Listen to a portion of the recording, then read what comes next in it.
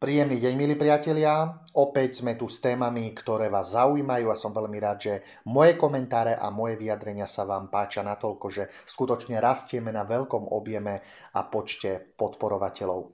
Treba povedať, že Čaputová, ktorá posledné dni bola v Dubaji, kde opäť sa pretrčala v pokrčených a môžeme povedať eh, veľmi, veľmi nevkusných šatách, Okrem toho, že e, sa tam pretrčala ako taká módna figurína, treba povedať, že na mieste, kde sú porušované základné ľudské práva a slobody e, pracujúcich ľudí, ktorí sú mnohokrát naozaj týraní aj na pracovisku v podobe trestov, kde za najnižšiu minimálnu mzdu pracujú, kde to je na hranice v podstate tyranie, kde sa už aj medzinárodné inštitúcie vyjadrili k účasti Čaputovej v Dubaji, kedy sa ani len zmienkou, čo by len slovkom a citlivým vnímaním a dýchavičným zajakávaním nevyjadrila k porušovaní ľudských práv ľudí v tejto zeme, treba povedať, že prezidentka opäť si len vyberá témy, ktoré jej vyhovujú. Kde chce byť pekná, tam je pekná. Kde má jednoducho pritlačiť, nepritlačí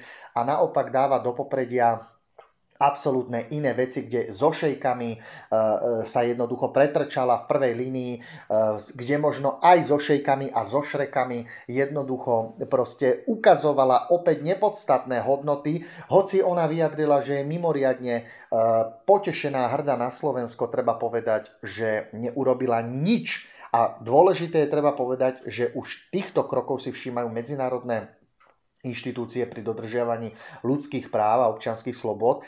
A práve oni na to poukázali, že Čaputová ani len slovkom, ani len zmienkou sa nezastala týchto ľudí. Takže kde je tá úprimnosť? Kde je tá ľudskosť? Kde je tá hĺbka? A kde je tá e, empatia e, ako štátnika, ktorý by sa mal v danej zemi, ktorú navštevuje, vyjadrovať aj k otázkam práv a slobôd občanov daného štátu. Ehm, ona rieši čokoľvek iné, ona si kopne do Ruska, ona si kopne do Putina, ona si kopne do všetkých slovanských národov a štátov, maximálne e, protežuje NATO, maximálne protežuje e, Spojené štáty, e, zapredáva vlastnú, skutočne vlast, vlastné Slovensko, a tu je vidno, že Čaputová zlyhala. Ona zlyhala nie raz, ona zlyhala absolútne opakovane, niekoľkonásobne. Je to najväčšia hamba Slovenska, ktorú môžem, môžeme mať, na ktorú my sa pozeráme,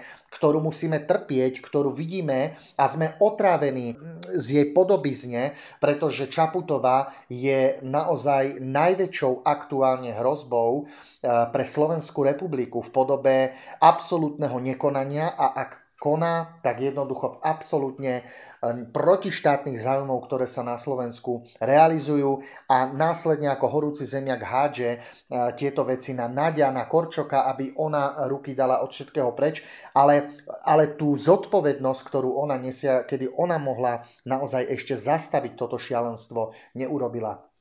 Čaputová jednoducho zlyhala.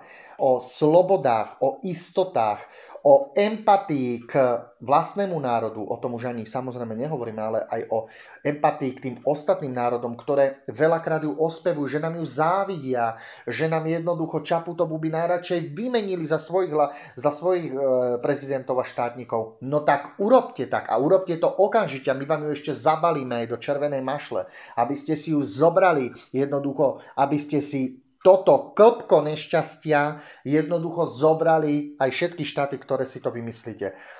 My sa, milí Slováci, musíme Čaputovej a tejto vlády zbaviť.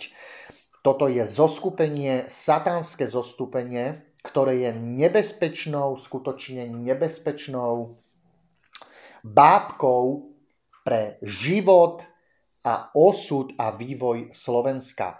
To, že už je červ, mor, nádor v podobe tejto vlády a tejto prezidentky nasiaknutý už do tkaniva bežného života občanov Slovenska, to už vieme, ale my musíme medicínskym rezom okamžite tento, tento vírus, tento nádor, túto špinu vyoperovať. Nič iné nám nezostáva, potrebujeme byť veľmi rýchli, veľmi akční a hlavne potrebujeme konať. Konať na všetkých úrovniach. Dovidenia.